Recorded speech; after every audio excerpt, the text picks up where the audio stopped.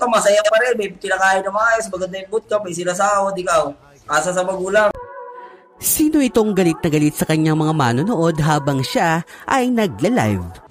Ikaw, kung sa buhay mo, hindi ka na nakaban, wala ka pang karir. Ano, first time mag-embel, nasa Grandmaster pa rin. Tagal-tagal na yan. Ako, mitik agad, pare. Kung saan isa siyang bagong miyembro ng team na Amihan Esports. Amihan Esports? Tama ka batang? Sila lang naman yung nai-content natin noong nakaraan na winasak ang kanilang bootcamp dahil di umano lilipat na sila sa panibagong BC. Tamo, gusto mo pala sumali sa amihan, kunyari ka pa, hater ka pa. Paano, puro ka raw. Ako, kaka-ML lang. Tamo, may team na. Pitik pa agad.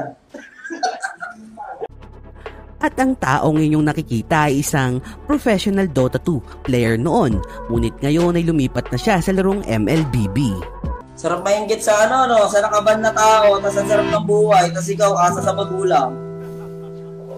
Hindi ka muna pang load doon para mapag-ML ka, wala kayo wifi. Ano nga ba ang totoong dahilan ng kanyang paglipat? Humihina na nga ba ang Dota 2 community kaya sila nagdilipatan kay Munton? Hmm, yan ang malaking katanungan ng ilang mga kabatang natin na nakapanood ng kanyang live habang minumura ang mga nanonood sa kanya habang siya ay nag stream ng Mobile Legends. Kaya samahan mo kong alamin ang mainit-init na balitang ito na hatid sa inyo ng channel na hindi hindi kahayaang mahuli sa mga kaganapan dito sa ML community. Kaya ano pa ang inaantay natin? Tara na!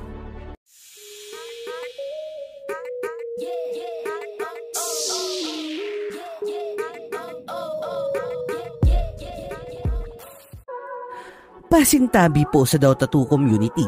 Malaki ang respeto ko sa inyo mga kabatang. Dahil isa rin akong Dota player at Dota 2 player. Kaya nga kilalang kilala ko ang taong ating pag-uusapan sa araw na ito. Ang kanyang tunay na pangalan ay Mark Anthony Jaco Soriano o mas kilala bilang si Jaco at isa siyang magaling na manlalaro ng larong Dota 2 kung saan ang kanyang signature hero nga ay si Tinker kung saan ang hero na ito ay parang gumamit ka ng funny na mas pinahirap ng tatlong beses dahil kinakailangan na sobrang bilis ng kamay mo sa hero na ito para magamit mo siya ng maayos. Dahil halos lahat ng item na kailangan nitong si Tinker ay purong mga clickable items, idagdag mo pa ang apat na skills nito na kailangan mo ring i-click pero bago pa man sumikat ang larong Dota 2 ay isa na siya sa talagang tiningala noon sa Dota 1 kung saan malimit pa nga siyang maitapat sa isang pro player rin na si Carl Osantino. Kumbaga, sa MLBB ay maihahalin tulad mo siya kay H2, Hades at Kyrie na mga magagaling na core ng larong MLBB. Si Jaco ay pinanganak noong October 9, 1998 kung saan 22 years old na nga siya ngayon. Pero kung hindi ako nagkakamali, noong siya ay nag-umpisang makilala sa Dota 1 ay nasa edad 10 pa lamang siya noon. Hanggang sa nagpatuloy nga siya sa paglalaro ng Dota 2 at maraming tournament na rin ang kanyang nasalihan. Sa madaling salita, isa siya sa magagaling na mid laner ng Pinas ng larong Dota 2 hanggang sa dumating nga ang Shanghai Majors ng larong Dota 2 kung saan si Jaco ay membro noon ng team na Mineski X na isa nga sa lalaban sa nasabing tournament at noong mga panahon na yon ay 14 o 15 years old pa lamang nga itong si Jaco.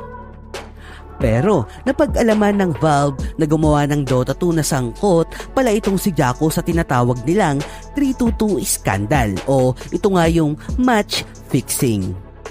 Ang match fixing ay may ibig sabihin ng pagsasadya nila na magpatalo sa kalaban dahil posibleng na-offeran sila ng kabilang team na babayaran para ipatalo ang kanilang laban sa mga ito. Kung saan ito nga ay nagresulta para siya ay iba ng Valve sa lahat ng mga tournaments na hinahawakan nito. Pero marami ang umapila sa pagkakaban nga nitong si Jaco noong mga panahon na yon dahil ito ay noong 2014 pa at wala pa nga sa wastong edad itong si Jaco. Kumbaga, minor de edad pa nga siya noong nangyari ito at ang desisyon na kanyang nagawa noon ay posibleng dahil rin sa kanyang mga kasama dahil madaling maodyukan o maoto ang bata na wala pa sa tamang edad. Pero dahil nga hindi na mabago, ang parusa na ipinataw sa kanya ay nagpatuloy pa rin sa paglalaro ng Dota 2 ang taong ito dahil nga hindi lang laro ang Dota 2 para sa kanya, kundi ito na ang buhay niya at bumubuhay sa kanya. Kaya naman napunta si Jaco sa team na Power Gaming at Amihan Esports kung saan naglaro pa rin siya sa ilang mga tournament ng Dota 2. Pero limitado na lamang ang kanyang mga nasasalihan at hindi na nga siya makapaglaro sa mga international event at major tournaments kaya nga nahihirapan rin ang kanyang team dahil rito. Dahil pangarap ng lahat ng mga Dota 2 teams ang makapasok o maging parte ng The International. Pero paano nga matutupad ito kung ang mid laner nyo ay hindi pwedeng maglaro rito? Kaya ito ang naging dahilan para mapaisip na ng final na desisyon nitong si Jaco sa kung ano nga ba ang landas na kanyang dapat na gawin. Kung saan dahil rin alam niyang may MLBB team, ang Amihan Esports ay kinausap niya ang mga ito na ang desisyon niya ay lumipat na lamang sa paglalaro ng MLBB at dito ulit siya mag-uumpisang muli. Ito ay napakahirap na desisyon para kay Jaco dahil nga ang Dota 2 ay matagal na niyang kasama. Kumbaga ito na ang ginawa niyang buhay sa loob ng mahabang panahon. Pero ang nakakatakot na posibleng mangyari na kapag si Jaco ay lumipat sa MLBB ay posibleng mas mapabilis na siya ay matuto at lumakas agad sa paglalaro nito dahil nga magagamit niya ang galing niya sa paglalaro ng Dota 2 para maka-adapt agad sa MLBB. Tandaan nyo na ang banding ng team na Bren Esports ay ang paglalaro ng Dota 2. Hmm.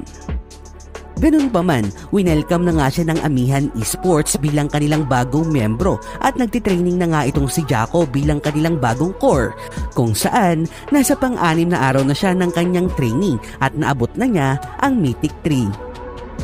Pero maisingit ko muna kabatang dahil nitong nakaraang MPL S7 qualifiers ay nalaglag ang amihan kung saan umabot lamang sila sa top 16 ng qualifiers. Kaya nga, ang gagawin lamang nila ngayon ay ang palakasin itong si Jaco para mas maging solid ang kanilang lineup. Pero may iilan pa ring mga tao ang hindi nakaka-move on sa kanyang ginawa noon. At ito nga yung dahilan kung bakit hanggang ngayon ay binabash pa rin siya ng mga tao. Na kesyo baka gawin niya di umano ulit ang nagawa niya noon sa Dota 2 kung saan kapag siya ay lumakas di umano sa paglalaro ng MLBB ay baka ibenta niya ulit ang laro sa kalaban. Kung saan para sa akin imposible na itong mangyari kabatang dahil unang-una ay bata pa nga si Jaco noong nangyari yung 322. Iskandal at ngayon ay nasa tamang edad na siya at bukod pa dyan ang Amihan Esports ang nagpapakahirap na turuan siyang maging malakas sa paglalaro ng MLBB. Kahit pa alam nilang medyo may kahabaan ng proseso bago tuluyang masabi na kaya na niyang sumali sa mga naglalakihang mga tournaments ay nag invest lang ang mga ito para nga maging malakas lang itong si Jaco. Pero nitong nakaraan lamang ay syempre, nasa ML community na nga itong si Jaco at nag stream na siya ng MLBB.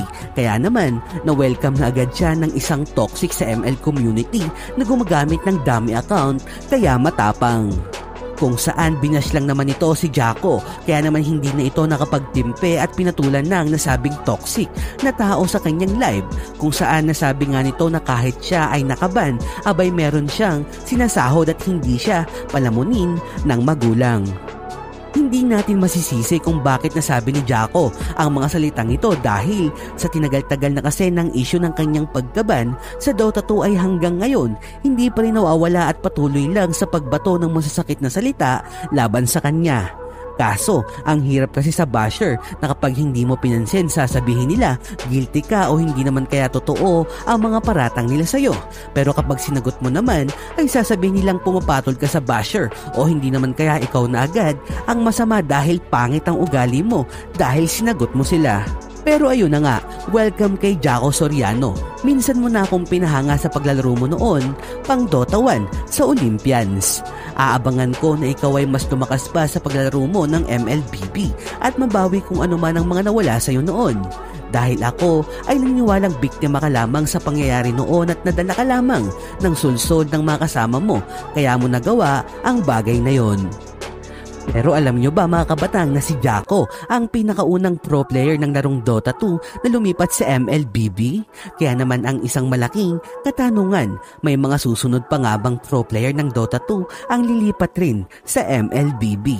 At posible kayang ito na ang simula para mas lalong lumakas ang puwersa ng Mobile Legends at mas lalong lumaki ang prize pool nito dahil malimit tayong maliitin ng ilang mga tao sa Dota 2 community. Iilan ha? Dahil ang prize pool na meron ng MLBB ay consolation lang di umano nila sa Dota 2 kung saan para sa akin ang importante rito ay ang respeto ng bawat manlalaro sa isa't isa. Mapa Dota o MLBB ka man ang mahalaga, may respeto ka sa gusto ng iba at hindi mo na kailangan mang maliit pa para lang makaangat ka. Dahil sa tingin ko ay hanggang dito na lang muna ang ating kwento patungkol sa bagong aabangan ng ML community na dating Dota 2 pro player at ang tanong na magiging isang malakas rin ba na core ang taong ito. Hanggang sa muli, ito nga pala ulit ang inyong batang Kenyong gamer na si Inspi na nagsasabing walang kaso kung minsang naranasan mo magkamali sa buhay. Ang mahalaga, hindi ka tumigil na lumaban para sa panibagong pangarap. Yun lamang po at maraming salamat. Stay at home at parating mag-iingat. Mahal na mahal ko kayo. Legit at big time. Mwah! Ang iingay ng manok.